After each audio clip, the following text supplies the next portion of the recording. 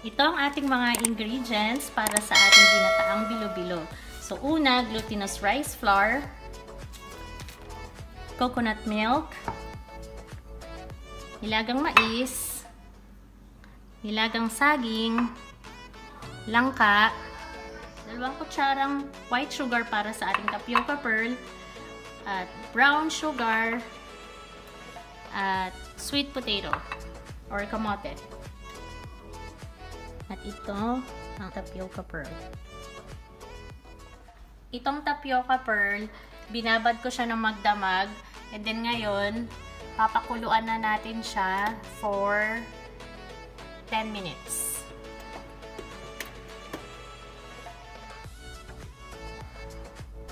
Pag kumulo na, haluin lang ng haluin para hindi magkadikit-dikit. Tapos lagyan natin ng dalawang kutsarang asukal. Ayan. And then, i-low flame lang para hindi masunog ang ating tapioca pearl.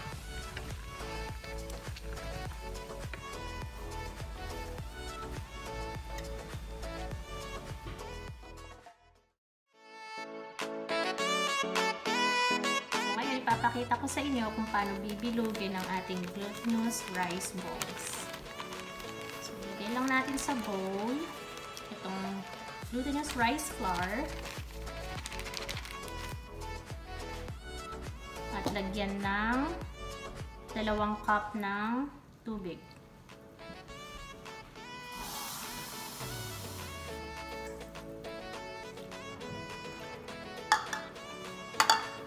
At haluin lang. Itong gamit ko pala ay Danish whisk na pang-mix talaga ng dough. Ayan, ready na ang ating dough para bilugin sa maliliit na glutinous rice balls. Pero make sure malinis ang ating kamay bago natin hawakan ang ating dough. So, kumuha lang ng konti. Ayan. At bilugin lang na parang kasing liit ng jollen.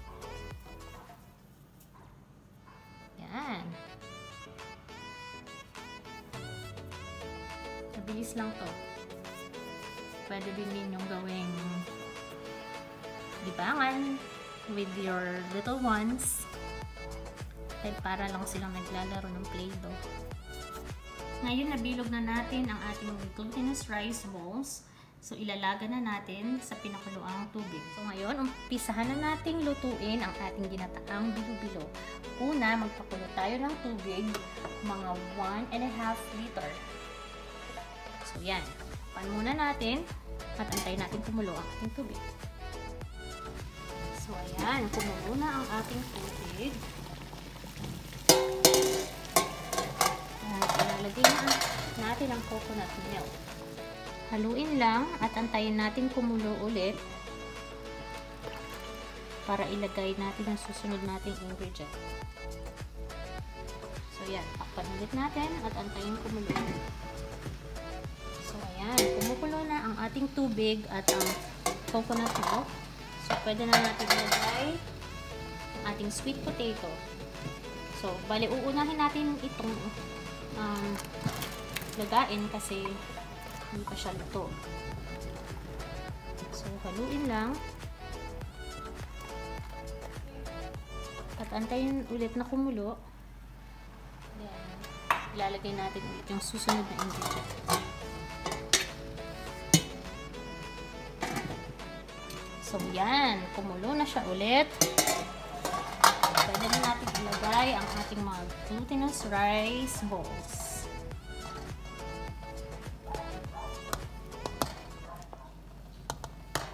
Dahan-dahan lang.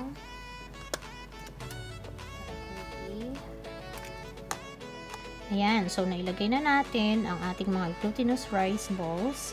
Make sure haluin lang ng haluin para hindi magkadikit-dikit. At makikita nating luto na siya kung ito'y or kung lahat sila ay lumulutang na. So yan, lumutang na lahat ang ating mga glutinous rice balls. Kaya pwede na natin sunod-sunod na ilagay ang ating mga lululanges.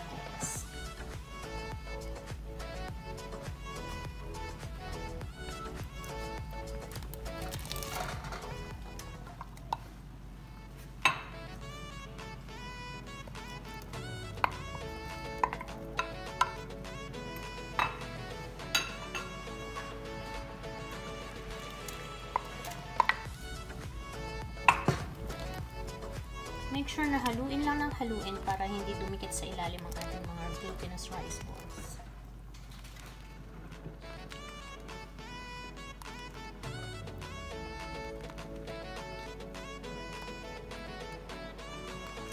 Since kumukulo na ulit siya ah, after pagtalagay lahat ng ingredients, pwede natin natin ilagay ang ating tapioca pearl.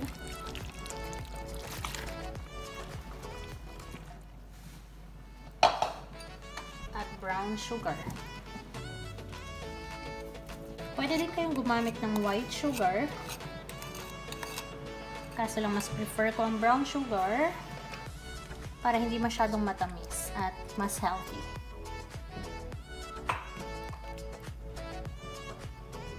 Then, haluin lang ng haluin hanggat ito'y lumapot. And make sure na yung ating sweet potato ay malambot na.